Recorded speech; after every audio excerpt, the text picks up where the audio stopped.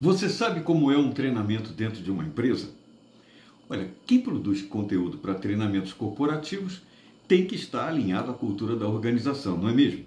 Oh, mas antes de continuar, se inscreva no canal, dê o seu joinha. Precisamos distribuir esse conteúdo para mais gente, ok?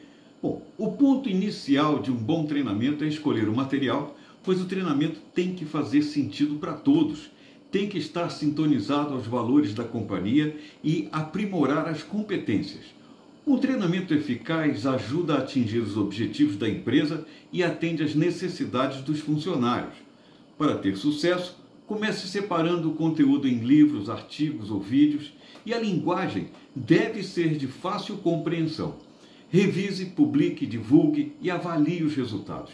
Identifique os pontos de melhoria em cada treinamento produzido. Assim, você encurta o seu trabalho. Afinal, quem muito trabalha não tem tempo de ganhar dinheiro. Espero ter te ajudado. Clique no link da bio e envie seus comentários.